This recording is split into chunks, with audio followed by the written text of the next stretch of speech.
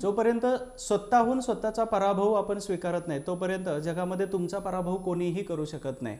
त्याच्यामुळं दिवसाची सुरुवातच सकारात्मक करायची आहे की मी हे करू शकतो किंवा मला हे करायचं आहे अशा पद्धतीनं जर तुम्ही सकारात्मक स्वतः राहिला तर आपल्या अवतीभोवतीचं वातावरण सुद्धा पॉझिटिव्ह राहतं. आणि अवतीभोवतीच्या वातावरणामुळं आपल्याला पुन्हा एकदा एनर्जी येते की दिवसभरामध्ये त्याच नव्या ऊर्जेनं आपण दिवसाचं एंड सुद्धा करू शकतो. नमस्ते हिस्ट्री बाय सचिन गोळी या यूट्यूबच्या चॅनलमध्ये तुम्हा सर्वांचं स्वागत आहे.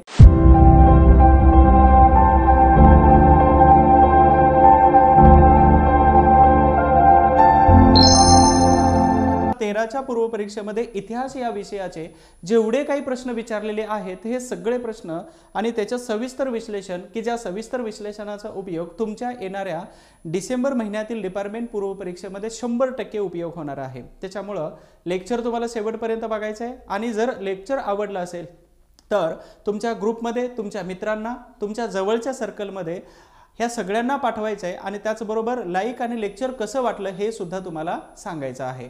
तर याच्यापूर्वी आपण जे बघितलेले लेक्चर्स होते तर याच्यापूर्वी दोन हजार एकवीस त्याच्यानंतर दोन हजार सतरा त्यानंतर दोन हजार सोळा या दरम्यान झालेल्या पूर्वपरीक्षांचं सविस्तर विश्लेषण आपण या यूट्यूबमध्ये दिलेलं आहे. आणि ह्या विश्लेषणाची लिंक जे आहे हे डिस्क्रिप डिस्क्रिप्शन बॉक्समध्ये खाली तुम्हाला दिलेले आहे. सध्या आपण दोन हजार तेरामध्ये जो पेपर झालेला होता तुमचा डिपार्टमेंट पी एस आयचा तर ह्या पे तेराच्या पेपरमध्ये इतिहास विषयाचे जेवढे काही प्रश्न आले होते तर तेवढे सगळे प्रश्न आणि ते प्रश्न कुठून आले होते किंवा तेराचा प्रश्न सोळामध्ये सतरामध्ये आणि एकवीसमध्ये कसा शिफ्ट झाला होता तर आपण थोडंसं उलटा प्रवास करतोय. एकवीस सोळा सतरा तेरा अकरा दहा आठ नऊ आणि आठ असा सगळ्या प्रश्नांचे सगळ्या परीक्षेच्या विचारले सगळ्या प्र इतिहासाच्या प्रश्नांचे आपण सविस्तर विश्लेषण इथं पाहणं करणार आहोत.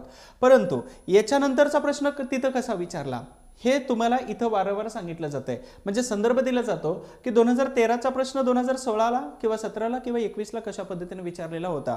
आणि मला अपेक्षा आहे की हे लेक्चर आणि याच्यामध्ये दिलं जाणारं जे विश्लेषण आहे तर शंभर टक्के तुमच्या परीक्षेला उपयोगी येणार आहे. त्याच्यामुळं तुम्हा सर्वांचं स्वागत करतोय दोन हजार तेराच्या विश्लेषणाच्या या लेक्चरच्या व्हिडिओमध्ये. थोडक्यात एक सूचना सुरुवातीला सांगतो. जर तुम्हाला इतिहास हा विषय खूपच अवघड जात असेल तर आपली इतिहास या विषयाची बॅच आहे. हिस्ट्री बाय सचिन गोळीक हे ॲप्लिकेशन तुम्हाला डाउनलोड करून घ्यायचं आहे ह्या हिस्ट्री बाय सचिन गोळीकमध्ये सध्या संपूर्ण इतिहास ह्या इतिहासामध्ये महाराष्ट्राचा इतिहास आहे भारताचा इतिहास आहे आणि समाज सुधारकसुद्धा सगळे दिलेले आहेत. आणि दोन हजार एकवीसमध्ये ऑलरेडी खूप सारे प्रश्न आले होते. त्याच्यामुळं ही बॅच स्पेशली तुमच्यासाठी डिझाईन केलेली आहे. ॲप्लिकेशनमध्ये गेलात तर तुम्हाला हंड्रेड पर्सेंट तिथून फायदा होणार आहे. आणि जेवढे प्रश्न विचारतात तर कदाचित याच्यात बाहेर एखादा जाऊ शकतो. अदरवाईज चान्सच नाही याच्या बाहेर जाण्याचा. त्याचबरोबर समाजसुधारक आहेच आणि राज्यशास्त्र विषयाचे काही व्हिडिओज मी टाकलेले आहेत. जो तुम्हाला कोर पार्ट जो परीक्षेला विचारला जातो तर खो थोडंसंच म्हणजे शॉर्ट बट स्वीट असे व्हिडिओ आहेत. परराष्ट्र संबंधाचे काही व्हिडिओ तुम्हाला ॲप्लिकेशनमध्ये लवकरच अपलोड होणार आहेत. म्हणजे तुमची परीक्षा होईपर्यंत ह्या इतिहासाची जर बॅच तुम्ही करत असाल किंवा तुम्ही जर ऐकत असाल तर हंड्रेड पर्सेंट इतिहासावरती फक्त याच्यावरतीच डिपेंड राहा. कारण रेकॉर्ड पाठीमागचं असं आहे की सोळापैकी पंधरा प्रश्न मी घेतलेल्या लेक्चर्समधून आले होते. त्याच्यामुळं आताचं प्रभावी शिकवणे आणि मांडणे याद्वारे तर हंड्रेड पर्सेंट प्रश्न तिथून येणार आहेत. आणि सगळा अभ्यास झाल्यानंतर तुम्हाला सरावाची गरज असते. मग नितीन अहिरराव सर आहेत आमचे मित्र त्यांनी पी डी एफ स्वरूपामध्ये टेस्ट सिरीज सुरू केलेली आहे. सराव करणं खूप गरजेचं आहे. आणि म्हणून त्यांना या नंबरवरती फोन करा ते तुम्हाला पी डी एफ टेस्ट सिरीजबद्दल तुम्हाला डिटेल्समध्ये माहिती सांगतील. बॅचबद्दल जर काय माहिती आज पाहिजे असेल तर या नंबरवरती मला फोन केला तरी चालेल किंवा डायरेक्ट प्ले स्टोअरवरून ॲप्लिकेशन डाउनलोड करा किंवा लेक्चर बघत असाल तर खाली तुम्हाला लिंक दिलेली आहे. क्लिक केलं की प्ले स्टोअरवरून तुम्हाला मिळतं. प्ले स्टोअरमध्ये गेल्यानंतर P D F free P D F नावाचा एक ब्लॉक आहे. त्याच्यामध्ये खूप साऱ्या पी डी एफ दिलेल्या आहेत. तर त्या तुम्ही अपलोड करा झेरॉक्स करा डाउनलोड करून आणि त्या वाचा. कारण का? तर त्याही सुद्धा परीक्षेसाठी खूप महत्त्वाच्या आहेत आणि डिपार्टमेंटची पी डी एफसुद्धा मी तिथं टाकण्याचा प्रयत्न करतो. आपण लगेच पुढच्या प्रश्नांकडे वळतोय.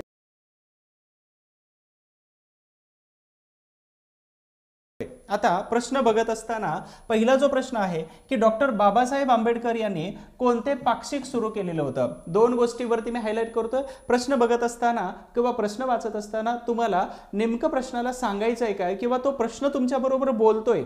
आणि प्रश्न बोलत असताना तुम्हाला काय म्हणतोय तो तो तो समजून घ्यायचा आहे म्हणजेच काय? तर कोणतंही नातं जर घेतलं तर कोणत्याही नात्यामध्ये एक गोष्ट पाहिजे असते. ती गोष्ट म्हणजेच कोणती? तर समजूतदारपणा.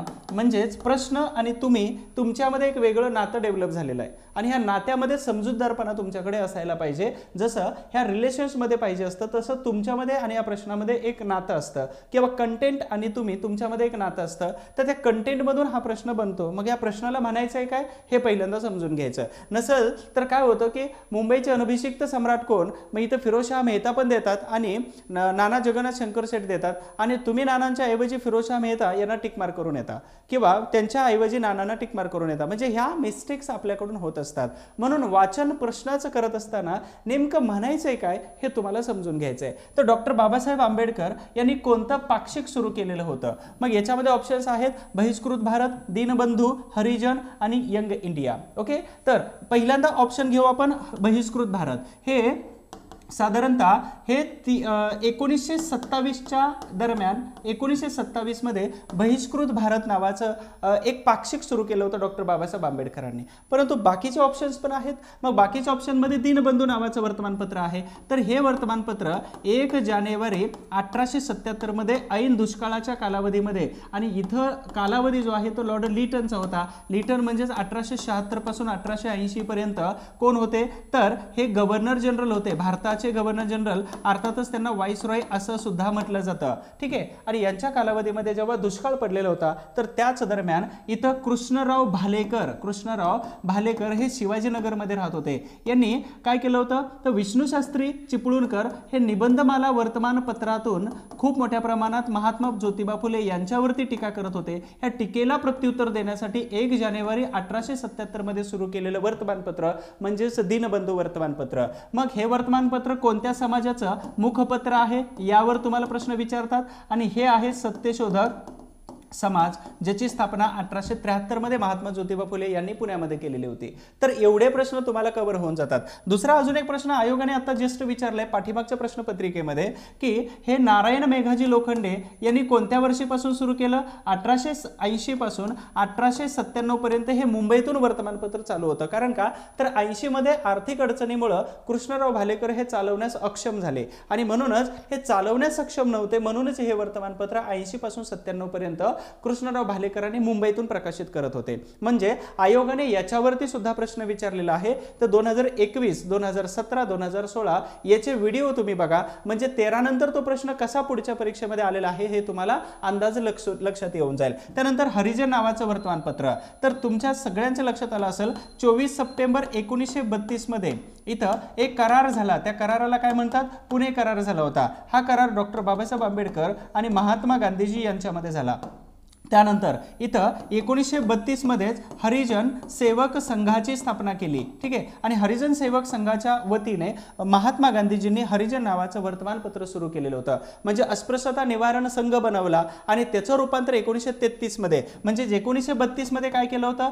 तीस सप्टेंबर एकोणीसशे बत्तीसमध्ये अस्पृश्यता निवारण संघ बनवला आणि या संघाचं रूपांतर एकोणीसशे तेहतीसमध्ये महात्मा गांधीजींनी हरिजन सेवक संघामध्ये केलं. मग त्याच्यामध्ये दलित समाजातून तीन व्यक्ती होत्या. आणि तीन व्यक्तीमध्ये कोण होते तर एम सी राजा दुसरे डॉक्टर बाबासाहेब आंबेडकर आणि श्रीनिवास ह्या तीन व्यक्ती होत्या. त्यापैकी डॉक्टर आंबेडकर आणि श्रीनिवास हे गोलमेज परिषदेला ऑलरेडी तीसमध्ये जाऊन आलेले होते. तर हे एकोणीसशे तीसचं आहे हे एकोणीसशे बत्तीसचं आहे आणि हरिजन सेवक संघ किंवा हरिजन हे वर्तमानपत्र गांधीजींचं आहे. त्यानंतर सर्वात महत्त्वाचं यंग इंडिया. आता महात्मा गांधीजींनी वर्तमानपत्र जी सुरू केली होती त्यापैकी नवजीवन नावाचं एक वर्तमानपत्र आहे. त्याच्यानंतर इंडियन ओपिनियन नावाचं वर्तमानपत्र आहे अठराशे चौऱ्याण्णव साऊथ आफ्रिकेमध्ये सुरू केलेलं त्याच्यानंतर महत्त्वाचं कोणतं आहे? तर यंग इंडिया नावाचं वर्तमानपत्र आहे आणि चौथं वर वर्तमानपत्र कोणतं असेल? तर ते हरिजन. म्हणजेच गांधीजींनी हे चार वर्तमानपत्र सुरू केली होती. तुमच्या परीक्षेला प्रश्न आला तर याच्या बाहेर प्रश्न येणार नाही. अशा पद्धतीनं एकोणीसशे चोवीसमध्ये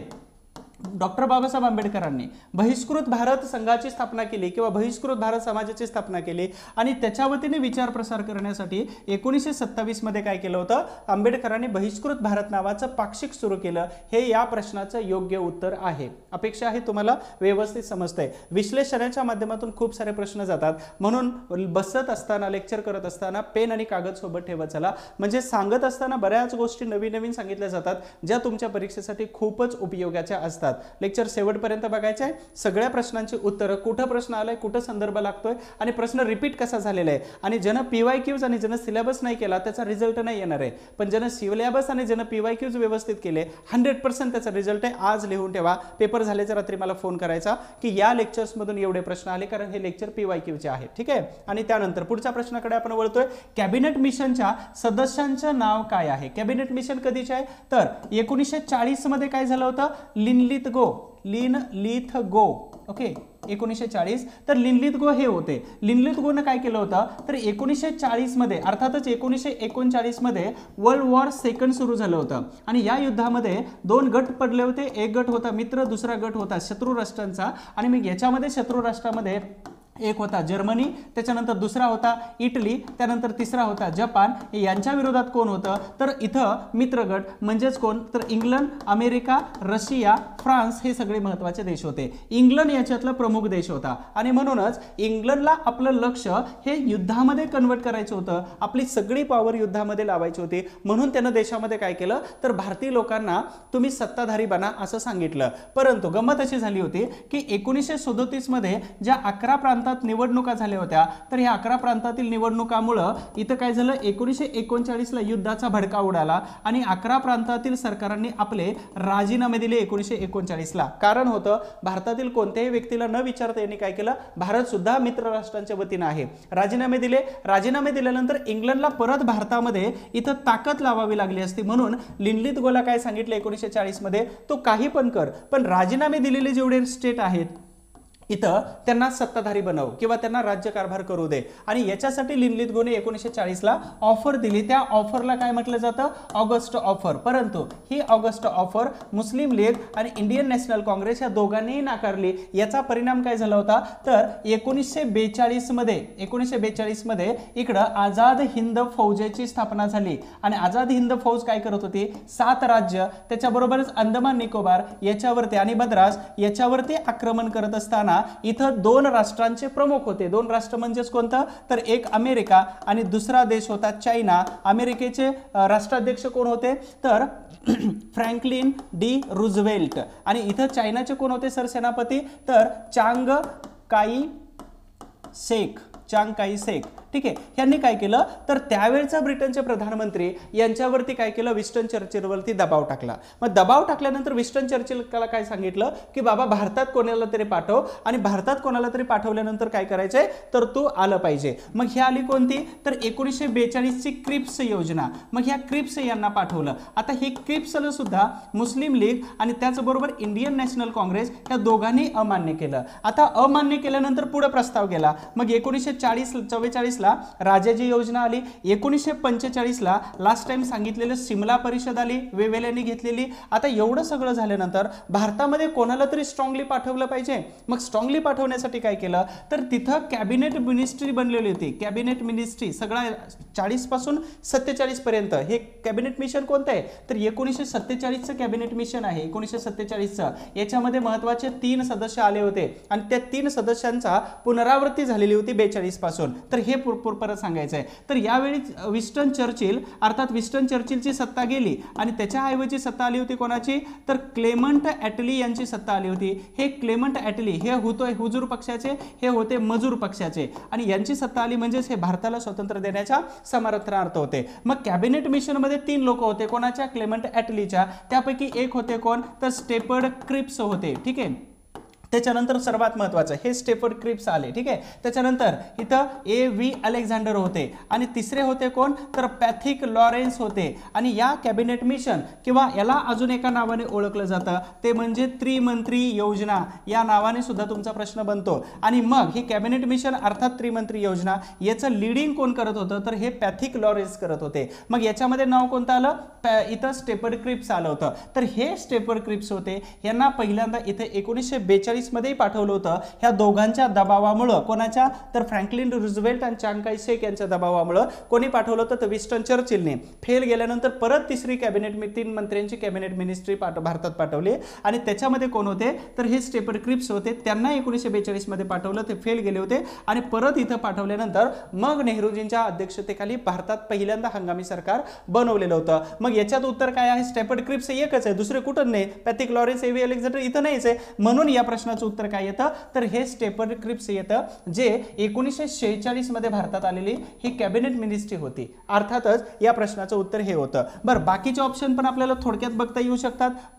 हे आहेत वॉरन हेस्टिंग. आता रॉबर्ट क्लाईव्ह आणि वॉरन हेस्टिंग याच्यामध्ये फरक काय येतो? तर सतराशे बहात्तरपासून अगदी सतराशे पंच्याऐंशीपर्यंत मग बंगालचे शेवटचे गव्हर्नर आणि बंगालचे पहिले गव्हर्नर म्हणून ह्या रॉबर्ट वॉरन हेस्टिंग्स यांना ओळखलं जातं. त्यानंतर लॉर्ड डलहौसी. डलहौसी म्हणजेच अठराशे अठ्ठेचाळीसपासून अठराशे छप्पन्नपर्यंत डलहौसी आपल्या संस्थाने खालसा धोरण याच्यासाठी खूपच प्रसिद्ध होता. आणि या धोरणाचा परिणाम म्हणजे अठराशे सत्तावन्नचा उठाव झालेला होता. म्हणजे पहिलं स्वातंत्र्याचं समर झालं होतं. हा लॉर्ड कर्झन एकूण अठराशे नव्याण्णवपासून अठराशे नव्याण्णवपासून एकोणीसशे पाच पर्यंत होता. आणि हा लॉर्ड कर्झन काय सांगायचा? तर मला जर भारतातून वाईस रॉय गव्हर्नर जनरल म्हणून रिटायर झालो तर कलकत्त्याचा महापौर व्हायला आवडेल. आणि त्याचबरोबर मरणासन्न काँग्रेस असत असताना मला तिला मरताना पाहायचं आहे. तर हा लॉर्ड कर्झन होता. आणि याच्यापूर्वी तो अनेक वेळा भारतात महत्वाची पदं भूषवलेला व्यक्ती होता. भारताचा गव्हर्नर जनरल व्हावं अशी दृढ इच्छा असणार तो एकमेव व्यक्ती होता. परंतु एकोणीसशे पाचमध्ये लॉर्ड किचनेर यांच्याबरोबर मतभेद झाले. हे गव्हर्नर हे लष्कर प्रमुख होते. आणि यांच्याबरोबर मतभेद झाल्यामुळं एकोणीसशे पाचमध्ये त्यांनी राजीनामा दिला. यांनीच बंगालची फाळणी सुद्धा केलेली होती. त्याचबरोबर भारतातमध्ये मुस्लिम लीग वेगळी झाली. तर याचाच हा कारनामा होता. वंगबंध चळवळ स्वदेशी आंदोलन हे लॉर्ड कोर्झनचे उपद्व्या भारतामधले. तर अशा पद्धतीनं या कॅबिनेट मिशन सदस्याचं नाव हे सर स्टेपर्ड क्रिप्स होतं. हे तीनपैकी एकमेव सदस्य होते जे एकोणीस एकोणीसशे बेचाळीसमध्ये भारतात आलेले होते. अपेक्षा आहे तुम्हाला प्रश्नाचं सविस्तर विश्लेषण आवडलेलं असेल. पुढच्या प्रश्नाकडे जातोय आपण. अठराशे सत्तावन्नचा उठाव. कशावरती प्रश्न आलेले?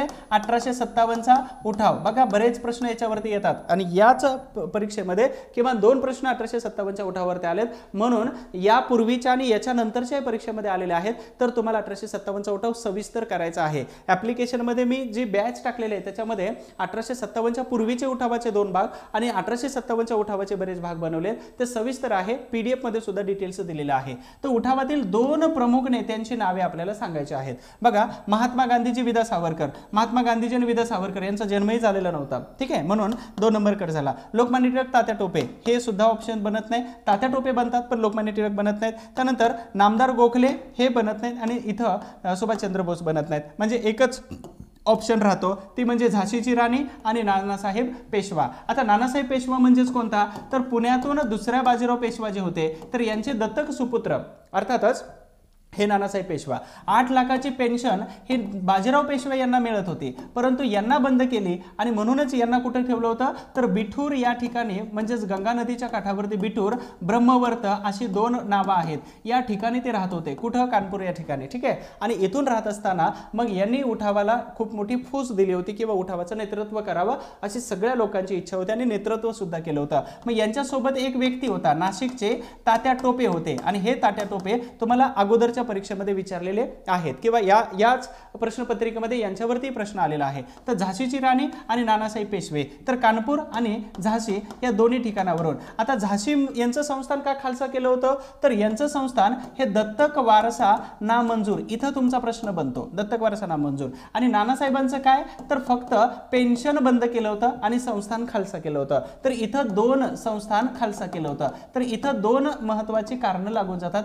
इथं तुमचा आयोगाचा प्रश्न प्रश्न बनून जातो. त्यानंतर इथं जे ऑप्शन्स दिलेले आहेत यावरती पण थोडक्यात भारतीय असंतोषाचे जनक हे व्हॅलेंटाईन चिरोल यांनी लोकमान्य टिळकांना म्हटलं होतं. चौदामध्ये आणि एकोणीसमध्ये खटला हरले लोकमान्य टिळक. त्यानंतर तात्या टोपे हे नानासाहेब पेशवे यांच्यासोबत होते. महात्मा गांधीजी दक्षिण आफ्रिकेमध्ये नाताळ काँग्रेसची स्थापना अठराशे चौऱ्याऐंशी एकोणीसशे पंधराला भारतात आले. मग चंपारण्य अहमदाबाद खेडा त्याच्यानंतर असहकार चळवळ त्याच्यानंतर स्वराज्य पार्टीपासून वेगळे त्याच्यानंतर चोवीसमध्ये बेळगावच्या काँग्रेस अधिवेशनाचे अध्यक्ष त्याच्यानंतर गोलमेज परिषदा त्याच्यानंतर सविनय कायदेभंग चळवळ त्याच्यानंतर एकोणीसशे पस्तीसचा भारत शासन कायदा एकोणीसशे बेचाळीसची छोडो भारत आंदोलन एकोणीसशे सत्तेचाळीसला भारताला स्वतंत्र हा झाले संपूर्ण गांधीजी. विदा सावरकर हे चाफेकर बंधू पुण्यामध्ये जे होते रँड आणि आयस्ट यांच्या दोघांची हत्या करणारे. चाफेकर बंधूंची हत चाफेकर बंधूंनी हत्या केल्यानंतर जेव्हा यांना फासावर देण्यात आलं तर त्यावेळी यांचं रक्त खवळून उठलं चाफेकर बंधूंचं. मग राष्ट्रभक्त समूह अठराशे नव्याण्णव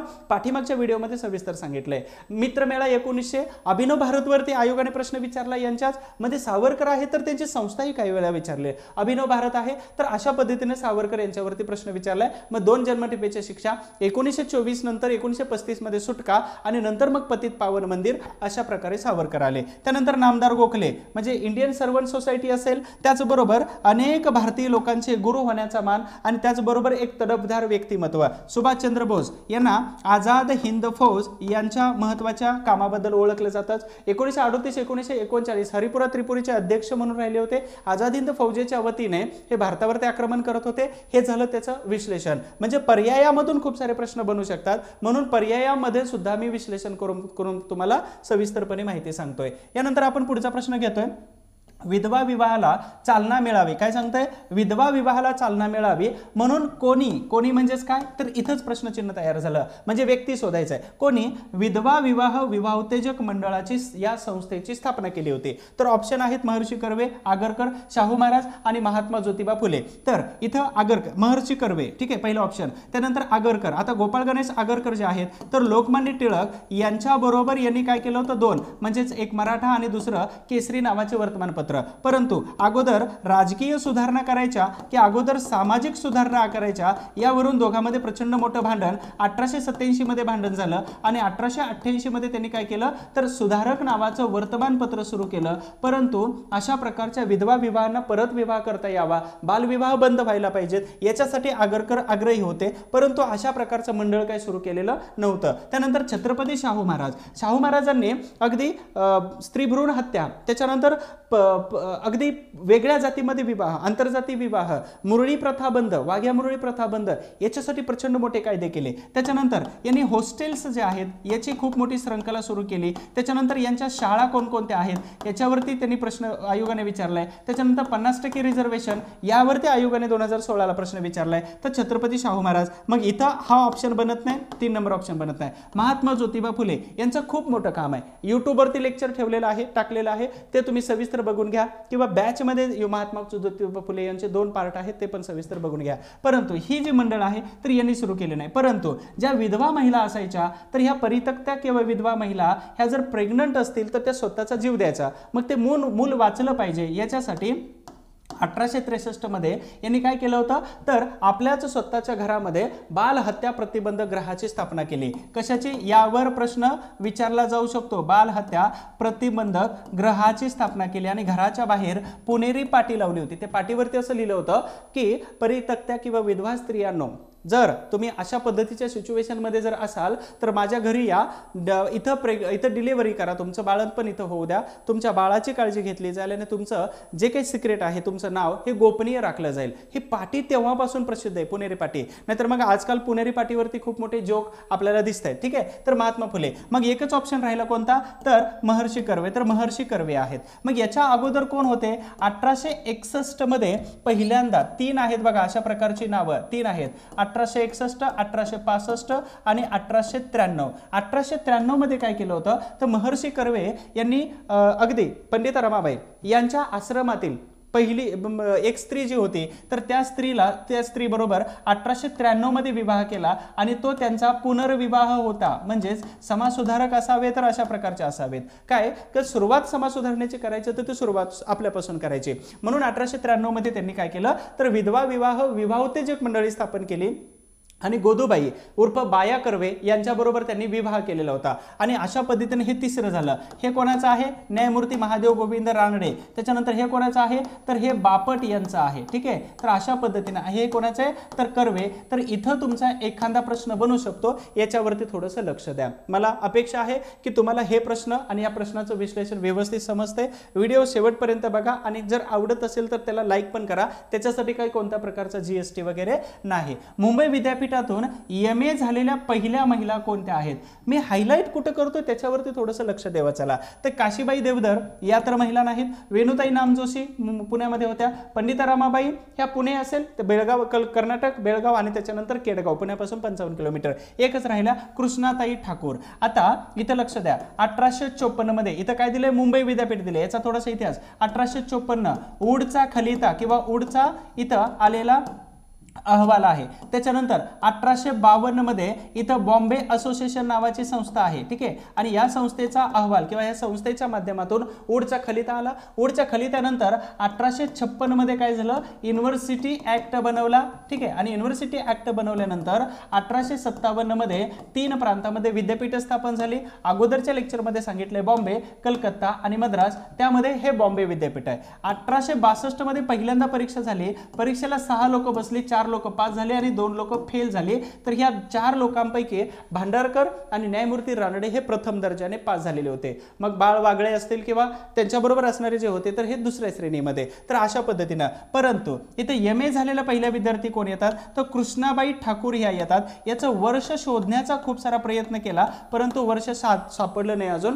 सापडलं की कमेंट बॉक्समध्ये मी तुम्हाला टाकून देतो. तोपर्यंत एम ए ह्या झालेल्या पहिल्या महिला कृष्णाबाई ठाकूर ह्या आहेत. आपण पुढच्या प्रश्नाकडे जातोय. भारतीय असंतोषाचे जनक म्हणून खालीलपैकी कोणाला ओळखलं जातं? बघा अठराशे सत्तावन्नच्या उठावामध्ये ऑप्शन्समध्ये आले होते लोकमान्य टिळक. त्यावेळी मी सांगितलं होतं व्हॅलेंटाईन चिरोल यांनी. कोणी सांगितलं होतं? तर हे व्हॅलेंटाईन चिरोल यांनी म्हटलं होतं की भारतीय असंतोषाचे जनक आणि लोकमान्य टिळकांना एकोणीसशे आठपासून एकोणीसशे चौदा पर्यंत सहा वर्षाचा तुरुंगवास झालेला होता. आणि एकोणीसशे चौदाला जेव्हा बाहेर आले तर त्यावेळी असंतोषाचे जनक हे त्यांनी जे पुस्तक लिहिलं होतं त्या पुस्तकामध्ये त्यांनी असंतोषाचा जनक म्हटलं. मग लोकमान्य टिळक एकोणीसशे अठराला त्यांच्यावर खटला मानहानीचा खटला लढवण्यासाठी गेले. एकोणीसशे एकोणीसला ते एकोणीसशे एकोणीसला ते खटला हरले आणि हरल्यानंतर परत आले. मग त्यांना पुण्याच्या वि- पुण्याच्या महानगरपालिकेमध्ये मानपत्र देण्याचा विषय चालला. तर काही सनातनी मग काही महा ज्योतिबा फुले यांच्या समर्थनार्थ असणाऱ्या किंवा सत्यशोधक विचाराच्या लोकांनी सांगितलं मानपत्र द्यायचं नाही.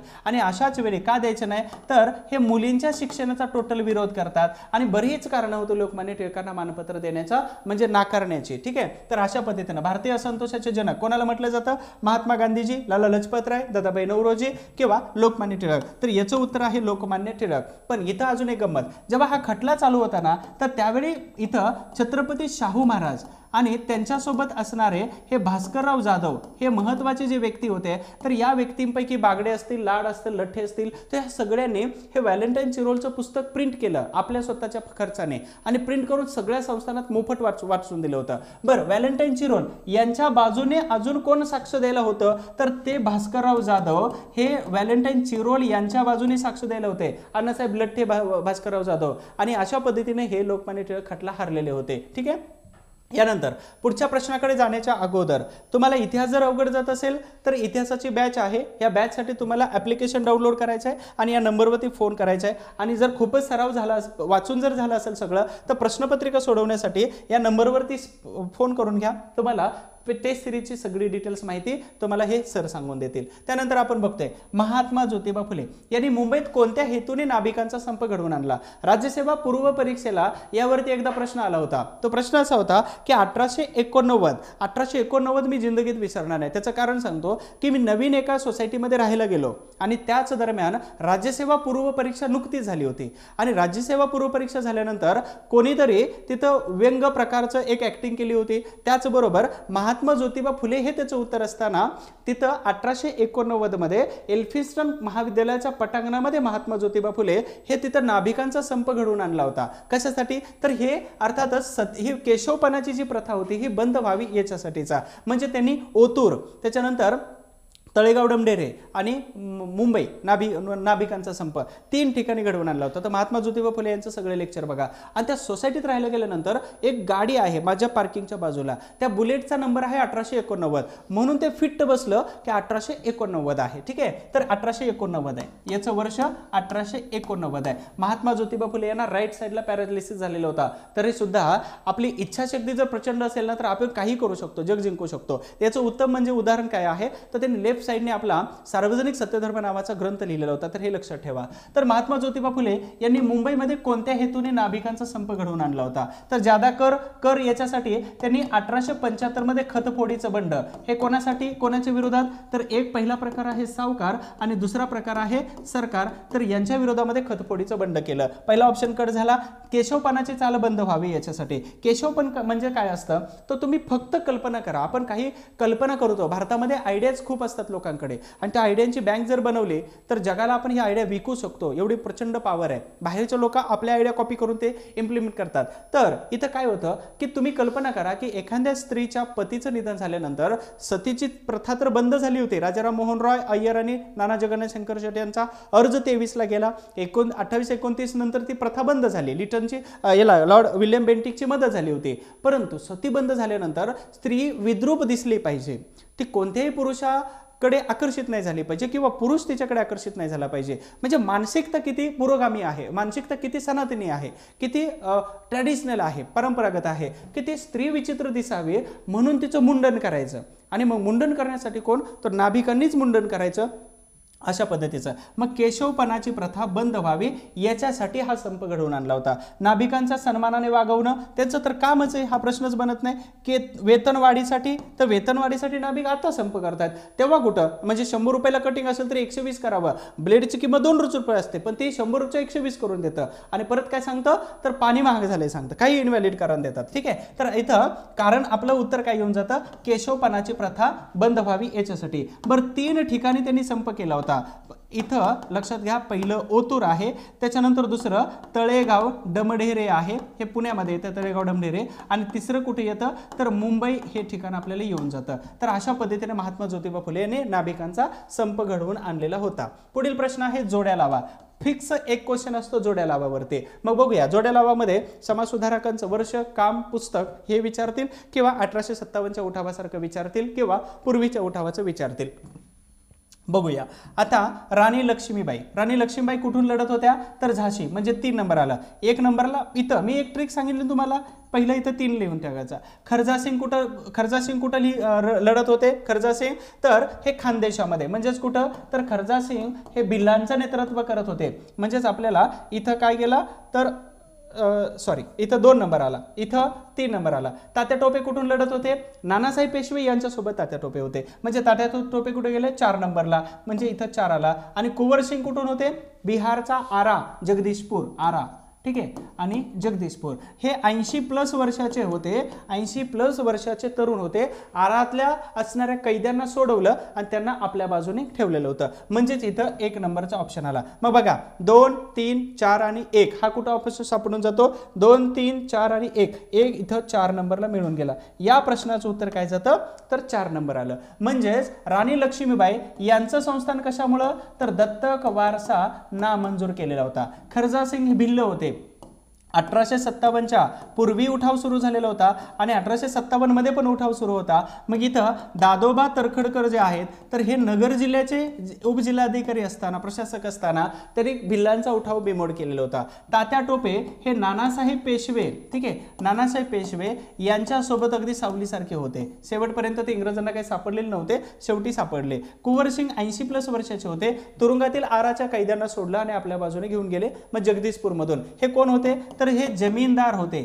ठीक आहे? जमीनदार होते. कोणते संस्थानिक वगैरे नव्हते. असा तुम्हाला प्रश्न विचारला जाऊ शकतो. यानंतर महत्त्वाचा प्रश्न आहे अठराशे सत् एकोणीसशे सत्तावीस साली महात्मा ज्योतिबा फुले यांचे मराठीतील पहिले विस्तृत चरित्र कोणी लिहिलं? आता महात्मा ज्योतिबा फुले यांचं चरित्र आहे. आत्मचरित्र तर आतापर्यंत महात्मा ज्योतिबा फुले यांचं कोणीच लिहिलेलं नव्हतं. मग बघा पहिल्यांदा एक चळवळ घेऊया. ती चळवळ आहे अस्पृश्यांची चळवळ.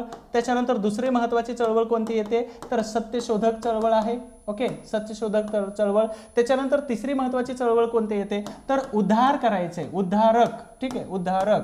आणि अजून एक आहे महत्वाचं नाव म्हणजेच काय? तर समाज सुधारक एवढी कामं केलेले एक व्यक्ती आहेत. हे व्यक्ती अगदी बुलढाणा जिल्ह्यातून येतात. हे व्यक्ती अगदी बुलढाणा जिल्ह्यातून येतात. मग कोण आहेत? तर भास्करराव जाधव. हे जातात छत्रपती शाहू महाराज यांच्यासोबत. मग भास्करराव जाधव यांना दोन नावाने ओळखलं जातं. तर दोन नावाने ओळखल्यानंतर दोन नावाने ओळखलं जातं. मग एक आहे काय? तर कोल्हापूरचे प्रति शाहू महाराज ठीक आहे? आणि दुसरे शाहू महाराज असं. त्यानंतर इथं खंडेराव बागर हे कोल्हापूरमध्ये होते. नारायणराव अमृतकर हे वेगळं ऑप्शन दिलेलं आहे. परंतु इथं एकच ऑप्शन येऊन जातं ह्या प्रश्नाचं उत्तर पंढरीनाथ पाटील. हे पंढरीनाथ पाटील अस्पृश्यता निवारण असेल त्याचबरोबर दलित उद्धार असेल सत्यशोधक विचारांचा प्रसार असेल याच्यासाठी काम करणारे महत्त्वाचे व्यक्ती होते. त्याच्यामुळं एकच उत्तर जेतं हे बुलढाण्यातील महत्त्वाचे व्यक्ती.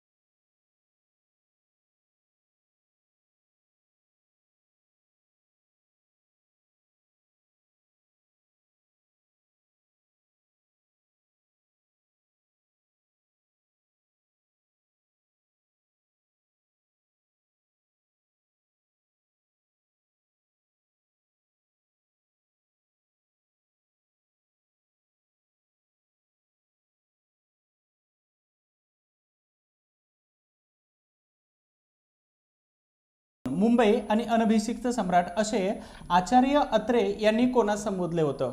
बघा मुंबईचा अनभिषिक्त सम्राट आणि त्याच्याबरोबरच अजूनही एक पदवी इथं लावली जाते.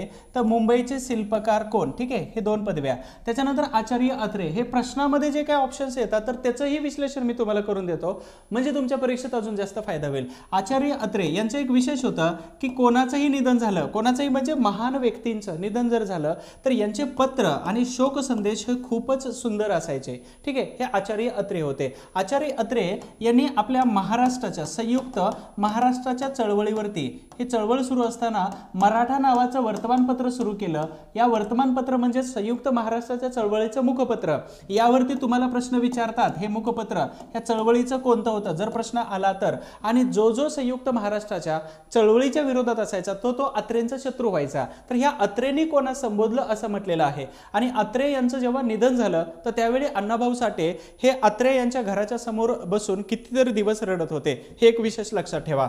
आता इथं प्रश्न विचारलं मुंबईचे अनभिषिक्त सम्राट कोण? आता तुम्ही सगळ्यांनी अभ्यास भलेही केला असेल मग पोलीस भरती होत असताना केला असेल कारण हे महाराष्ट्रातल्या प्रत्येक एम पी एस सी करणाऱ्या स्पर्धा परीक्षा करणाऱ्या विद्यार्थ्याचं तोंड पाठच असतं. त्याच्यामुळं या प्रश्नाचं उत्तर सरळ सरळ काय येऊन जातं? तर जगन्नाथ शंकर सेठ म्हणजेच नाना. आता ह्या नानांना मुंबईची पायाभरणी करणारे महत्त्वाचे व्यक्ती म्हणून ओळखलं जातं. हे गर्भश्रीमंत होते खूप श्रीमंत होते. कधीपासून? सतराशे नव्याण्णवला श्रीरंगपट्टणमच्या लढाईत टिपू सुलतानचा जेव्हा पराभव झाला. तर त्यावेळी सोनं आणि जवाहर हे सगळं त्यांना मिळालं त्यांच्या वडिलांना आजोबांना. ते नंतर घेऊन आले ठाणे मुरबाड या ठिकाणी. आणि म्हणूनच ठाणे मुरबाड या ठिकाणी त्यांचा जन्म.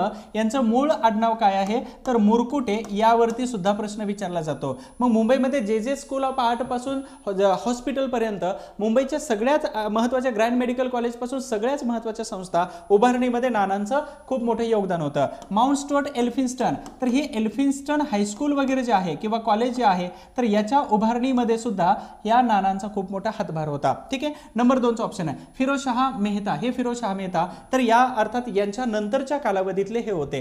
फिरोजशहा मेहता हे मवाळवादी नेते होते. ठीक आहे? फिरोजशहा मेहता मवाळवादी. आणि अजून एक आहे लॉर्ड कर्झन यांच्याबरोबर लंडनमध्ये शिकणारे म्हणजे लॉर्ड कर्झनचे हे क्लासमेट होते. महत्वाची गोष्ट. त्यानंतर यांनी सुरू केलेली संघटना म्हणजेच बॉम्बे असोसिएशनमध्ये होतेच. ही संघटना बंद पडल्यानंतर अठराशे पंच्याऐंशीमध्ये के टी तेलंग असेल चंदावरकर असेल फिरोजशहा मेहता असेल. यांच्यासारख्या अनेक लोकांनी बॉम्बे प्रेसिडेन्सी असोसिएशन अठराशे पंच्याऐंशीला सुरू केली. म्हणजेच ते काँग्रेसमध्ये विलीन झाले. भाऊदाजी लाड कोण होते? तर अठराशे पंचेचाळीसमध्ये नानांनी सुरू केलेलं ग्रँड मेडिकल कॉलेज. या कॉलेजचे पहिले विद्यार्थी टोटल नऊ लोक होती. नऊ टोटल जे नऊ लोक होते त्यामध्ये तीन महाराष्ट्रीयन होते. आणि तीन महाराष्ट्रीयनमध्ये आत्माराम पांडुरंग तरखडकर त्यानंतर भाऊदाजी लाड धन्वंतरी आणि त्याच्यानंतर डॉक्टर सावंत. हे तीन लोक होते. आता यांनी खरोष्टी वनस्पती वनस्पतीपासून कुष्ठरोगावरती औषध काढलं आणि म्हणून यांना धन्वंतरी असं म्हटलं जातं. अनेक आंतरराष्ट्रीय संस्थांचे आणि देशांचे ते मानद सदस्य राहिले होते. तीन नंबरचा ऑप्शन दादाभाई नवरोजी. दादाभाई नवरोजी म्हणजे बाळशास्त्री जांभेकरांचे शिष्य होते. त्याचबरोबर भारतीय राजकारणाचे पितामह म्हटलं जातं. त्याचबरोबर आर्थिक निसारणाचा सिद्धांत यांनीच मानला होता. त्याच्यानंतर एकोणीसशे सहाच्या भारतीय राष्ट्रीय काँग्रेसच्या अधिवेशनाचे अध्यक्ष आणि स्वदेशी चळवळ आणि इथं बंगालची फाळणी याला समर्थनाने विरोध करणारे हे महत्त्वाचे व्यक्ती होते. तर स्वदेशी चळवळीला समर्थन आणि बंगालच्या फाळणीला विरोध करणारे. तर ह्या प्रश्नाचं उत्तर हे होतं. म्हणजेच जगन्नाथ शंकर शेठ शिकता शिकता बाकीचे महत्त्वाचे लोक आपण सविस्तर पाहिली. पुढच्या प्रश्नाकडे वळतोय. पंचवीस डिसेंबर अठराशे पंच्याऐंशी. पंच्याऐंशी म्हटलं की काय आलं? तर भारतीय राष्ट्रीय काँग्रेसचं पहिलं अधिवेशन. मग या काँग्रेसच्या पहिल्या अधिवेशनाचे अध्यक्ष कोण होते? बघा दोन हजार एकवीसला आलाय ना प्रश्न? उमेश चंद्र बॅनर्जी तिथं म्हटले. इथं प्रॉपर म्हटलेलं आहे काय? तर योमेश चंद्र बॅनर्जी. हे कोण होते? तर दादाभाई नवरोजी यांचे खूप चांगले मित्र होते. त्याचबरोबर हे कलकत्ता हायकोर्टामध्ये प्रसिद्ध वकील होते. आणि दादाभाई नवरोजींनी काय केलं? तर यांना अर्थातच व्योमचंद्र बॅनर्जी यांना भारताच्या पहिल्या राष्ट्रीय काँग्रेसचं अध्यक्ष म्हणून नेमलेलं होतं. म्हणजे त्यांना सांगितलं की हे अध्यक्ष होतील म्हणून. ॲलन ह्यूम कोण होते? तर हे पहिले सरचिटणीस होते. यांच्यावरती प्रश्न विचारतील. सरचिटणीस होते. त्याला आपण काय म्हणू दुसऱ्या भाषेमध्ये? सचिव म्हणू. हे ॲलन ह्यूम. आणि म्हटलं ना डफरीनच्या डोक्यातील सुपीक कल्पना. परंतु ॲलन ह्यूम यांना पुढे केलं. कारण डफरीन ऑन इथं रूल होता. रूल करत होता. ॲलन ह्यूम प्रशासकीय अधिकारी होता. आणि याला पुढे करून भारतीय राष्ट्रीय काँग्रेस म्हणजेच काय म्हटलं जातं याला? तर एक सेफ्टी वॉल या ठिकाणी इथं या इंग्रज लोकांनी बनवला. वेडनबर्न म्हणजेच कोण होते? तर अठराशे एकोणनव्वदमध्ये मुंबई या ठिकाणी भारतीय राष्ट्रीय काँग्रेसचं अधिवेशन भरलं. त्या अधिवेशनाला दहा महिला महाराष्ट्रातून हजर होत्या. त्या अधिवेशनाचे अध्यक्ष होते. लॉर्ड डफरीन म्हणजेच कोण होते? तर अठराशे चौऱ्याऐंशी पासून अठ्ठ्याऐंशीपर्यंत हे कार्यरत होते भारताचा गव्हर्नर जनरल व्हाईसरॉय म्हणून. यांच्याच कालावधीमध्ये पंच्याऐंशीला भारतीय राष्ट्रीय काँग्रेस बनलेली होती. म्हणून हा टॉपिक कोणता आहे? भारतीय राष्ट्रीय काँग्रेस. ऑलरेडी मी सांगितलं होतं काँग्रेसवरती एक क्वेश्चन फिक्स असतो आणि हे तुम्हाला कधी समजणार आहे? परीक्षा झाल्यानंतर झा तुम्हाला पटकन कळणार आहे की काँग्रेस सरांनी सांगितलं होतं वाचा आणि तुम्ही आतापर्यंत वाचलेलं नव्हतं. ठीक आहे? म्हणून तुम्हाला काँग्रेस आणि काँग्रेस पूर्वीच्या राजकीय संघटना हे दोन्ही टॉपिक तुम्हाला सायमल्टेनियस करायचे आहेत. ऑलरेडी जर यूट्यूबवरती अठ्ठावीस डिसेंबरला दोन हजार ते बावीसला यूट्यूबवरती काँग्रेसच्या स्थापनेच्या दिवशी मी ऑलरेडी एक लेक्चर टाकलेलं भारतीय राष्ट्रीय काँग्रेसचं सविस्तर बघून घ्या. अदरवाईज जर बॅच घेतली असेल तर काँग्रेस पूर्वीच्या राजकीय संघटना आणि भारतीय राष्ट्रीय काँग्रेस यांचे लेक्चर अतिउत्तम कव्हर केलेले ते पण एकदा बघा. पुढील प्रश्न घेतोय. समाज सुधारकाने म्हणजे कोणत्या समाज सुधारकाने व्यक्ती विचारलेला आहे? म्हणजे व्यक्ती सापेक्ष प्रश्न आहे. आणि व्यक्ती कोण आहे? तर समाज सुधारक हा व्यक्ती आहे. म्हणजे समाज सुधारकामध्ये कोण येतात आणि त्यांच्यावरती अजून पुढच्या काही परीक्षेत प्रश्न विचारलेत का? लगेच बघायचं आहे तर सव्वीस जुलै एकोणीसशे दोनला मागासवर्गीयांसाठी पन्नास टक्के जागा राखीव ठेवण्याचं कोणी जाहीर केलं होतं? तर एकोणीसशे दोन सव्वीस जुलै म्हणजे भारतामध्ये आरक्षण कधी सुरू झालं होतं? सद्यस्थितीमध्ये आरक्षणावरून संपूर्ण भारत आणि महाराष्ट्र ढवळून निघालेला आहे. म्हणजेच मराठा आरक्षण असेल धनगर आरक्षण असेल वेगवेगळ्या कॅटेगरीतून आम्हाला ते आरक्षण असेल किंवा यांना दिले त्यांचं कमी करा असेल असेल म्हणजेच विद्यार्थी दशेत असताना आणि तुम्ही डिपार्टमेंटमध्ये काम करत असताना जातीवाद ठीक आहे आरक्षण त्याच्यानंतर राजकारण ह्या सगळ्या गोष्टी अनस्टॉपेबल आहेत. ह्या कधीच न थांबणाऱ्या आहेत. आणि त्याच्यामुळं चर्चेला जर हे विषय आले तर ती चर्चा स्किप करायची आणि निघून जायचं. जर तुम्ही या चर्चेला बसलात तर नाराजी व्यक्त होते आणि हे वैचारिक मतभेद हे पर्सनली मतभेद होत जातात आणि मग आपली मतं एकमेकांबद्दलची कटू होऊन जातात. म्हणजे माणूस दूर जातो. म्हणून ह्या तिन्ही चारही गोष्टी तुम्हाला सोडायच्या आहेत आणि चर्चा जर होत असेल तर त्याच्यावरती चर्चा करायचं नाही. कारण का? तर हे घोंगडं भिजत घालायचं आहे ज्या त्या तत्कालीन कालावधीमध्ये. तर कोणत्या समाज सुधारकाने एकोणीसशे दोनला मागासवर्गीयांसाठी पन्नास टक्के जागा ठेवण्याचं ठरवलेलं होतं? ठीक आहे? तर छत्रपती शाहू महाराज हे त्याचं योग्य उत्तर आहे. तर यूट्यूबच्या लेक्चरमध्ये इथं लिंक येते बघा. यूट्यूबच्या लेक्चरमध्ये शाहू महाराजांचं लेक्चर घेतलेलं आहे त्यांच्या जन्मदिमान दिनानिमित्त. तर ते सविस्तर एकदा बघून घ्यायचं आहे महात्मा ज्योतिबा फुले हे कशासाठी? सत्यशोधक समाज. ऑलरेडी सांगितलं होतं ते एकदा बघून घ्यायचं. त्यानंतर वीरा शिंदे यांच्यावरती प्रश्न आले. डिप्रेस्ड क्लासेस मिशन असेल किंवा माझ्या आठवण एकवीसला प्रश्न विचारलेला आहे. ह्या यांच्यावरती कंपल्सरी प्रश्न विचारतात. त्यानंतर महर्षी कर्वे यांच्यावरती आत्ताच दोन हजार तेरामध्येच एक प्रश्न येऊन गेला. त्याच्यानंतर अजून एक प्रश्न आहे बघा. अठराशे अठ्ठावन्न जन्म आणि एकोणीसशे अठ्ठावन्नमध्ये ओके यामध्ये दोन हजार सतराचा जो व्हिडिओ टाकला होता तर त्याच्यामध्ये माझ्याकडून चुकून अठराशे छप्पन ते एकोणीसशे छप्पन असं लिहिलं गेलं. तर हे एकदा करेक्शन करा. मी खाली कमेंट बॉक्स करून तिथं करेक्शन दिलेलं आहे. तर हे चूक आहे त्याच्याबद्दल क्षमस्व तर एकोणीस अठराशे अठ्ठावन्न ते एकोणीसशे अठ्ठावन्न शंभर वर्ष पूर्ण झाले म्हणून भारतरत्न आणि महाराष्ट्रातील पहिले भारतीय व्यक्ती आहेत की ज्यांना भारतरत्न मिळाला. ठीक आहे महत्त्वाचे तर यांच्यावरती प्रश्न विचारला जाऊ शकतो. तर तुम्हाला करून जायचे आहे अभ्यासाचा. त्यानंतर मराठी भाषेचे पहिले व्याकरणकार खालीलपैकी कोण होते? तर दुर्गाराम मंचाराम नाही न्यायमूर्ती रानडे बाळशास्त्री जांभेकर दर्पणकार होते. मग एकच उत्तर जातं म्हणजेच दादोबा पांडुरंग तरखडकर. हे तरखडकर कोण होते? तर एक प्रशासकीय अधिकारी होते. ठीक आहे? प्रशासकीय अधिकारी होते. त्याच्याबरोबर अजून काही महत्वाचं होतं का? तर यांनी मानव धर्म सभा. ओके मानव धर्म. त्याच्यानंतर परमहंस सभा परमहंस. त्याच्यानंतर तिसरी आहे कोणती? प्रार्थना समाज. तर ह्या महत्त्वाच्या स्थापनेमध्ये दादोबा तरखडकर यांचा खूप मोठा आणि मोलाचा इथं वाटा होता. त्याच्यामुळं आता बाळशास्त्री जांभेकर हे अक्कलकोटच्या युवराजाचे शिक्षक म्हणून तिथं कामाला गेले होते. याच्यावर प्रश्न विचारला होता. न्यायमूर्ती रानडे यांच्यावरती प्रश्न विचारलाय. दुर्गाराम मंचाराम हे एक समाज सुधारक होते आणि दुर्गाराम मंचाराम हे दादोबा पांडुरंग तरखडकर यांच्यासोबत सुरतमध्ये एक प्रशासकीय अधिकारी होते. ट्रान्सफर झाल्यानंतर ते वेगळी वेगळीकडे गेले आणि हे वेगळीकडे गेले होते. मग नंतर इथं हे मानवधर्म सभा संपली परमहंस सभा. नंतर त्याचंच रूपांतर प्रार्थना सभेत झालं होतं. तर हे महत्त्वाचे व्यक्ती येतात. पण याचं उत्तर काय येतं? तर दादोबा पांडुरंग तरखडकर विद्यार्थी दशेमध्ये असतानाच त्यांनी ग्रंथ लिहिला होता. आम्ही विद्यार्थी दशेमध्ये असताना आपल्याला लिहिलेलं वाचता येत नाही सरळ. किंवा काय लिहिलं तेही कळत नाही. समजून घ्यावं लागतं कोणाकडून तरी. ही आपली दुर्दशा आहे. म्हणून भगतसिंग यांना वाचनाच्या बाबतीमध्ये मानलं पाहिजे. त्यानंतर सर्वात महत्वाचं खालीलपैकी कोणत्या समाजाने वारकरी संप्रदायाची शिकवण आधारभूत मानली? आता वारकरी संप्रदायाची शिकवण आधारभूत मानली म्हणजेच कोणता? तर प्रार्थना ब्राह्मो आर्य आणि सत्यशोधक. आर्य समाज काय सांगतोय? वेदांकडे परत चला. म्हणजे वेद हे बहुजन अस्पृश्य आणि बाकीच्या सगळ्याच लोकांना जमले पाहिजेत. सत्यशोधक समाज काय सांगतोय? तर इथं निर्मिक आहे. म्हणजेच कोणाला? तर देव आपल्याला प्रसन्न करून घ्यायचा असेल तर मध्यस्थी नको आहे. ह्या सत्यशोधक समाज सांगतोय. मग वारकरी संप्रदायाचं दोघांनी केलं नाही. ब्राह्मो समाज काय करतोय? तर इथं ब्राह्मो समाजाचे तीन नाव आहेत. एक ब्रह्म समाज ब्राह्मण समाज आणि ब्राह्मो समाज. तर इथं ख्रिस्ती किंवा हे ख्रिसमस व्यक्त ख्रिसमस काय करतात? साजरा करतात. मग इथं प्रार्थना समाज एकच राहिला. हे काय काम करत होतं? तर तुकाराम बीज साजरी करत होता. म्हणूनच याला काय म्हटलंय? वारकरी संप्रदायाची शिकवण. याची स्थापना कधी झाली होती? तर अठराशे अठराशे सदुसष्टमध्ये मुंबई या ठिकाणी.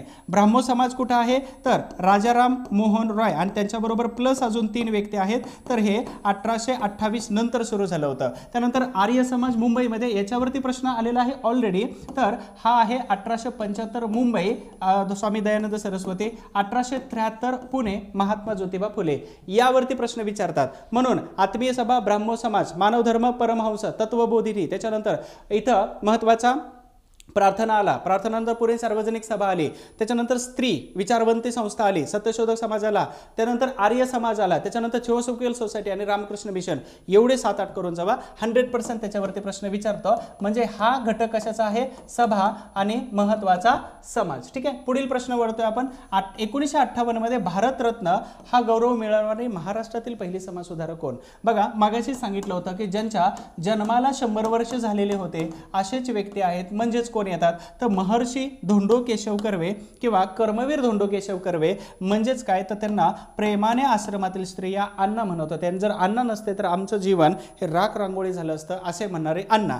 तर या धोंडो केशव कर्वे यांना शंभर वर्ष झाले होते. म्हणजेच हे एकशे चार वर्षाचं आयुष्य लाभलं होतं. आणि शंभराव्या वर्षी जन्मशताब्दीच्या वर्षी एकोणीसशे अठ्ठावन्नमध्ये त्यांना भारतरत्न पुरस्कार मिळालेला होता. अशा पद्धतीनं यांना एकोणीसशे एक्कावन्न एकोणीसशे बावन्न आणि एकोणीसशे इथं एकोणीसशे अठ्ठावन्न अशा प्रकारचे एल एल डी सारखे अनेक पुरस्कार मिळाले. शेवटी भारतरत्न हा पुरस्कार मिळाला. तर विरा शिंदे यांना अजून मिळालेला नाही. तर विरा शिंदे आंबेडकरांच्या अगोदर दलित चळवळीमध्ये काम करायचे आणि यांना उपेक्षित मानकरी असं म्हटलं जातं. ठीक आहे गबा सरदार यांनी म्हटलं. डॉक्टर बाबासाहेब आंबेडकर यांच्या जन्मशताब्दीच्या निमित्त यांना भारतरत्न पुरस्कार मिळाला. गोपाळ बाबा वलंकर हे आंबेडकरांच्या पूर्वीचे दलित चळवळीतील सर्वात महत्त्वाचे वार्ताहर. यांनीच रानडे यांच्या मदतीनं ब- महार कम्युनिटी सुद्धा सैनिकामध्ये भरती करून घ्या. हा पहिला अर्ज अस्पृश्य सुधारण्यासाठी त्यांनी लिहिला होता. लष्करामध्ये हवालदार होते. म्हणून या प्रश्नाचं उत्तर Maharshi Dhondo Keshav Karve S N D T यांनी निर्माण केली. त्यानंतर पुढं स्वराज्य पक्षाचे संस्थापक सदस्य कोण होते? लोकमान्य टिळक नाही राजबिहारी बोस नाही घोष नाही महात्मा गांधीजी नाही तर इथं मोतीलाल नेहरू. बरं यांच्याबरोबर अजून कोण जातं? सी आर दास हे एक व्यक्ती येतात. ठीक आहे सी आर दास म्हणजे चित्तरंजन दास. आज डिझेल इंजिनचं लोकोमोटिव्ह इंजिन जे बनवलं जातं बंगालमध्ये तर चित्तरंजन नावाच्या जिल्ह्यामध्ये बनतात. तर मोतीलाल नेहरू आणि सी आर दास एक होते. ठीक आहे मग याच्यामध्ये असणारा ऑप्शन लोकमान्य टिळक कशामध्ये जातात? तर मराठा आणि त्याचबरोबर केसरी. रासबिहारी घोष आणि रासबिहारी बोस याच्यामध्ये फरक आहे. तर हे रासबिहारी घोष येतात. तर हे एकोणीसशे सात आणि त्याच्यानंतर एकोणीसशे आठ ह्या दोन्ही भारतीय राष्ट्रीय काँग्रेसच्या अधिवेशनाचे अध्यक्ष होते. त्यानंतर महात्मा गांधीजी एकोणीसशे चोवीस भारतीय राष्ट्रीय काँग्रेसचे अध्यक्ष आणि एकोणीसशे सतरा पासून एकोणीसशे बेचाळीस पर्यंत हे मात्र भारतीय राष्ट्रीय चळवळीमध्ये काम करत होते. बरं इथं हे का झालं होतं? तर एकोणीसशे वीसला गांधीजींनी सुरू केलेली असहकार चळवळ चौरी चौरा हत्याकांड घडले एकोणीसशे बावीसला. चळवळ मागे घेण्यात आली आणि मग गांधीजींनी सांगितलं सार्वजनिक निवडणुकीवरती बहिष्कार टाकायचा. परंतु ह्या दोन लोकांनी काय केलं? तर आपली फाटाफूट करून घेतली आणि इथं गट पडला. म्हणजेच कोणता? फेरवादी आणि दुसरा गट होता नाफेरवादी. आणि या गटांपैकी एक जो गट होता तर तो हा मोतीलाल नेहरू आणि सी आर दास यांचा होता. म्हणजे आतमध्ये जायचं विधिमंडळामध्ये आणि विरोध करायचा अशापैकी हे दोन महत्त्वाचे व्यक्ती होते. परंतु इथं पंचवीसमध्ये सी आर दास यांचं निधन झालं. एकोणीसशे सव्वीसमध्ये हा स्वराज्य पार्टी जी एकोणीसशे तेवीसमध्ये बनली होती एक जानेवारी आणि ही मात्र एकोणीसशे सव्वीस नंतर कुठे गेली? भारतीय राष्ट्रीय काँग्रेसमध्ये विलीन झाली. तर यानंतर पुढचा प्रश्न जोडायला हवा. लोकहितवादी. बघा दोन हजार सोळामध्ये दोन हजार सोळाच्या परीक्षेमध्ये लोकहितवादींबद्दल असं असाच एक प्रश्न विचारलाय. म्हणून परत एकदा इथं दोन हजार तेरामध्ये आला त्याच्यानंतर सोळामध्ये गेला. तर लोकहितवादींच्या बाबत खालीलपैकी योग्य पर्याय. त्यांचा जन्म पुण्यामध्ये. प्रश्न काय विचारला होता? की अठरा ऑक्टोबर अठराशे तेवीसमध्ये हे सोळाचा प्रश्न.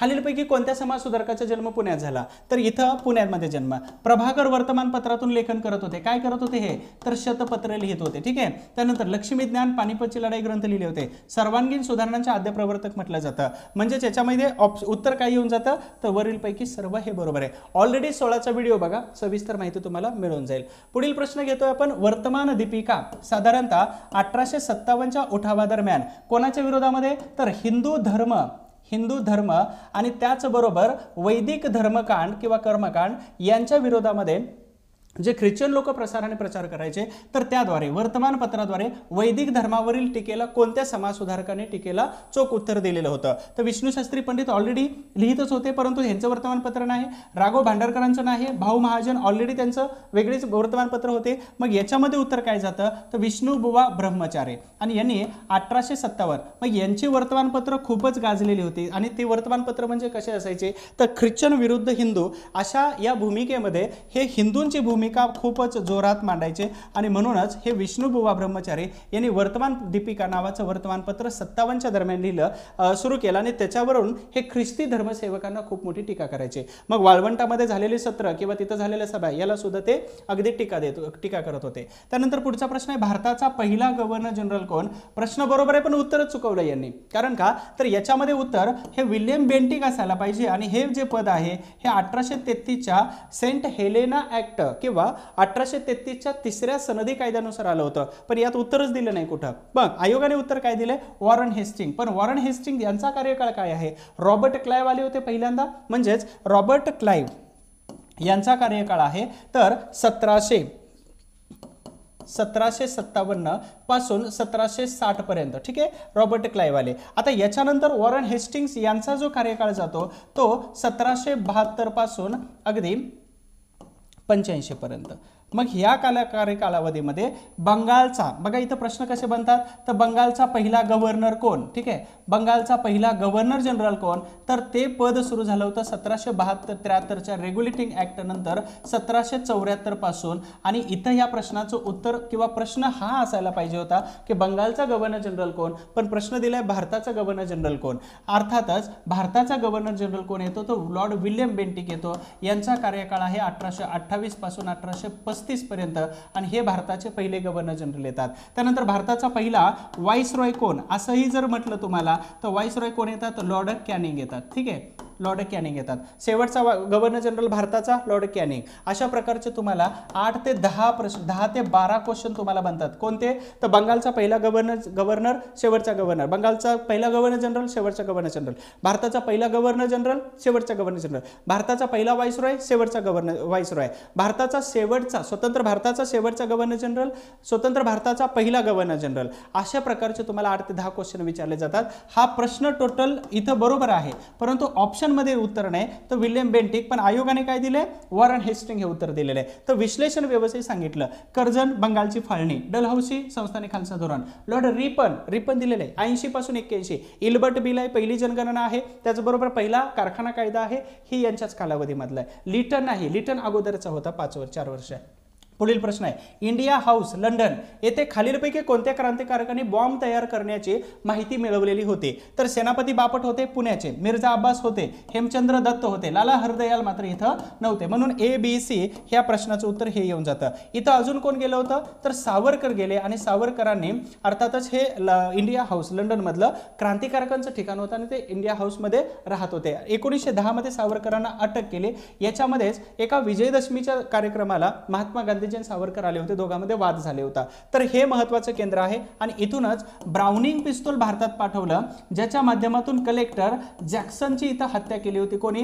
तर अनंत कान्हेरे या महत्त्वाच्या क्रांतिकारकांनी. ठीक आहे? पुढील आपण प्रश्नाकडे वळण्याच्या अगोदर एक सूचना. इतिहासाची एक असे महत्त्वाची काही बॅच आहे. या बॅचमध्ये तुम्हाला खूप सारे डिटेल्स दिलेले आहे. आणि जर खूप सारं वाचन झालं असेल तर तुम्हाला पी डी एफ आहे. त्या नंबरवरती फोन करा. तुम्हाला टेस्ट सिरीज आहे. डिपार्टमेंट पी एस आयचे ते तुम्हाला पाठवतील. त्यानंतर आपण सगळ्या महत्त्वाच्या प्रश्नांचं विश्लेषण करून बघितलं. आता सगळ्या प्रश्नांचं विश्लेषण करून बघितल्यानंतर एक छोटीशी एक मोटिवेशनल स्टोरी म्हणजे कोणताही माणूस आपल्या जेव्हा करिअरची सुरुवात करतो किंवा आपल्या कामाची सुरुवात करत असतो तर तो खरं तर शून्य असतो. म्हणजे आता आपण ज्यांना ज्यांना रोल मॉडेल समजतो तर ते सगळ्या लोकांनी खूप मोठा स्ट्रगल केलेला असतो. आणि तो एवढा मोठा स्ट्रगल असतो की तो कदाचित आपल्यासाठी रोल मॉडेल बनतं. नायके कंपनी माहीत असेल तुम्हाला. एकोणीसशे सहासष्ट एकोणीसशे एकाहत्तर एकोणीसशे चौऱ्याऐंशीपर्यंत ह्या कंपनीचे जे मालक होते हे मालक तुम्हाला पाठीमागे दिसत आहेत तर हे मालकांनी काय केलं होतं? त्यांच्याकडे एक फोर व्हीलर असायची. आणि त्या फोर व्हीलरची डिक्की पाठीमागची जी असते त्याच्यामध्ये त्या कारच्या डिक्कीमध्ये बसून शूज विकायचे. कित्येक दिवस कारण शोरूमचं आणि त्या दुकानाचं भाडं भरण्याची त्यांच्याकडे तेवढी पात्रता नव्हती. आणि त्याच्यामुळं त्या कारच्या डिक्कीमध्ये ते शूज ठेवायचे आणि तिथून ते विकायचे. चौऱ्याऐंशी नंतर मात्र त्यांच्या कामाला प्रचंड मोठी गती मिळाली. मग एक शोर शॉप घेतलं. त्या शॉपमध्ये नंतर स्वतःचं काहीतरी बनवायला सुरुवात केली. आणि ते बनवता बनवता एवढे मोठे झाले. म्हणजे अजून एक महत्त्वाची गोष्ट आहे की सातत्य आणि संयम आणि त्याच गोष्टीवरती जर फोकस केला ना तर एक दिवस लोक तुम्हाला गुगलवर सर्च करतात. असंच एक उदाहरण मला जस्ट गुगल करता करता सापडलं. म्हणजेच कारच्या डिक्कीमधून सुरू केलेला हा बिझनेस अनेक मोठ्या शहरामध्ये अनेक मोठ्या देशामध्ये खूप मोठे यांचे शोरूम उभा आहेत आज. हे नायके शूज हे त्यांचं प्रोडक्ट आहे. आणि स्वतःचं अशा प्रकारचं एक शूज बनवलं की जगामध्ये आज त्यांच्या शूजला कोणीही कॉम्पीट करू शकत नाही तुलना करू शकत नाही. ठीक आहे? अशा पद्धतीनं कोणतंही काम करत असताना संयम सातत्य आणि त्याच गोष्टीवरती ठाम असलं पाहिजे. म्हणजे तुम्ही जे ठरवलेलं आहे तर याच्यावरती जर तुम्ही ठाम राहिलात तर हंड्रेड पर्सेंट एक दिवस तुम्हाला लोक गुगल सर्च करतील किंवा तुम्ही कुठेतरी एका वेगळ्याच पोझिशनवरती असाल म्हणून कोणतीही स्पर्धा असो आयुष्य असो तर टिकून राहायला शिका किंवा त्याच्यामध्ये तुम्हाला थांबायचं आहे संयम ठेवायचं बघा दोन हजार अकराला नुकतंच डिग्री झाली आणि त्यावर्षी पी एस आय क्वालिफाय झालो. कदाचित दोन हजार अकराचं जर घेतलं असतं तर आज पी आय या पदावरती असतो किंवा ट्रा प्रमोशन होत त्या पदापर्यंत पोहोचलो असतो. तेवढंच नाही तर बी एस एफमध्ये जर जॉईन झालो असतो तर ते बी एस एफचं तर पाच सात वर्षामध्येच प्रमोशन होतं म्हणजे पी आयवरती आज माझ्यासोबत असणारे जे काही माझे मित्र होतं तर त्यापैकी जालंधर पंजाबमध्ये आहेत आणि ते पी आय या पदावरती काम करतात. कदाचित हे घेतलं नसल्याचं किंवा तिथं न गेल्याचा परिणाम म्हणजे आज मी तुमच्यापर्यंत पोहोचतो आहे किंवा तुम्ही मला ऐकताय आणि एक त्याचा मनस्वी आनंद आहे. त्याच्यामुळं अधिकारी होण्यासाठी संयम आणि सातत्य हे तुमच्यामध्ये असायलाच पाहिजे. अशा पद्धतीनं आपण जे काही आजच्या लेक्चरमध्ये जे विश्लेषण पाहिलं होतं तर मला अपेक्षा आहे की सगळं सविस्तरपणे तुम्हाला समजलेलं आहे. आणि जर कोणाला काही शंका असेल तर माझा नंबर खाली दिलेला आहे डिस्क्रिप्शन बॉक्समध्ये. किंवा अजून महत्त्वाचं की काही अभ्यासाबद्दल जर अडचणी असेल तर या नंबरवरती सेव्ह करा व्हॉट्सअप करा. व्हॉट्सअपवरती तुमचे प्रॉब्लेम चालवलेत पाल पाठवले तरी चालेल. किंवा वेळ घेऊन कोणालाही फोन करा. ती एक सवय आहे आणि ती सगळी चांगली सवय आहे. त्यानंतर यश मिळवण्यासाठी आत्मविश्वास पाहिजे असतो. आणि आत्मविश्वास असण्यासाठी स्वतःवरती विश्वास असायला पाहिजे. मग तुम्ही अभ्यास करत असताना पहिला स्वतःवरती विश्वास असायला पाहिजे की मी पास होऊ शकतो. मग एक वेगळा आत्मविश्वास तयार होतो दुसरा कप्पा. आणि तो आत्मविश्वास तयार झाला की मग तुमचं सक्सेस तिसऱ्या स्टेपला जातं. म्हणून पहिल्यांदा बिलीफ सिस्टम हे असायला पाहिजे. जगामध्ये एक ऑस्ट्रेलियाचे डॉक्टर होते. त्यांनी सांगितलं की माणूस एवढ्या स्पीडने पळू शकत नाही. मी यूट्यूबवरती याच्यापूर्वी एक उदाहरण दिलं होतं की त्यांनी सांगितलं की एवढ्या एवढ्या मिनिटामध्ये हा माणूस असा पळू शकत नाही. ती बिलीव्ह सिस्टम असते ना म्हणजे घोड्याला तुम्ही प्लास्टिकच्या खुर्चीला जर बांधलं तर तो घोडा वडून जात नाही. कारण का? तर त्याची बिलीव्ह सिस्टम काम करत नाही. म्हणून उठताना पॉझिटिव्ह विचार करा. पूर्ण बॉडीमध्ये पॉझिटिव्ह रसायन तयार होतं आणि ते केमिकल जे तयार झालेलं असतं ते दिवसभर तुम्हाला पॉझिटिव्ह ठेवतं. म्हणून कधी लक्षात ठेवा की स्वतःवरती विश्वास असला की एक आत्मविश्वास तयार होतो. आत्मविश्वास असला की तुमचं सक्सेस तुमच्या खूप जवळ येऊन जातं. मला अपेक्षा आहे या लेक्चरमधून तुम्हाला सविस्तर विश्लेषण आणि सगळे प्रश्न व्यवस्थित समजले आहेत. जर काही शंका असेल तर दिलेल्या नंबरवरती तुम्ही फोन करायचा आहे. आणि इतिहासाच्या बॅचेससाठी खाली लिंक दिलेली आहे ॲप्लिके ॲप्लिकेशनची त्या लिंकवर जाऊन ॲप्लिकेशन डाउनलोड करायचं आहे. त्याचबरोबर येणाऱ्या परीक्षेसाठी तुमच्या आरोग्यासाठी खूप खूप शुभेच्छा असतील. धन्यवाद. Thank you so much all the best